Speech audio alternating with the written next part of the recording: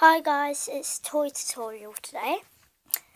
And I just made my, uh, what's it called? Crazy Loom bracelet tutorial. So now it's toy tutorial. I'm making a video because I'm making it up from not doing one last week. So I was busy. Okay, so first I'm going to start with the Crazy Loom things. And this is the Crazy Loom things. So yeah. If you go onto my other video, type in Crazy Loom tutorial, Epic White, that'll be me. So yeah, I'm just going to move that out the way. And yeah, as I told you, it comes with this in the tutorial. No, uh, Crazy Loom tutorial. But yeah, you can make bracelets like these. I made that green one right at the end, that one there, in the toy tutorial. Okay guys, so this is a really good brand and make and the instructions are easy to follow. So yeah, and that's how I found out that I could do a video for them. And then, now, I'm going to move on to the Furby Boom. Let me just move something.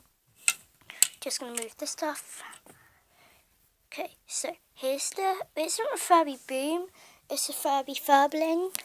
And as you can see, if I get my Furby Boom, I'll show you what the Furby Boom looks like. So guys, my Furby Boom's dead because it ran out of batteries. But look, they're both the same pattern. So yeah, and that's why I chosen that one. That one, its eyes would move, but if you go like that, its eyes would move like that. So yeah, I'm going to move that one out the way. And as you can see, I'll show you what it does. So this makes noises. Of course, only if you press the head. You can't pull the tail or it won't move, it's only that it'll make a noise and the eyes will move like that. So yeah, I hope you liked watching my toy tutorial. Next weekend I may do a room tour or my morning routine, I'm not sure. But I haven't showed you the outfit of the day, but I will right now. So guys, I'll take this over to the mirror. This is the outfit of the day today.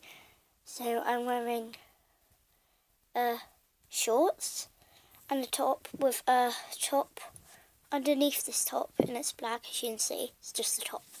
But yeah, I hope you like liked watching my toy tutorial video and so sorry if I got mixed up it's because I'm really mixed up today so guys bye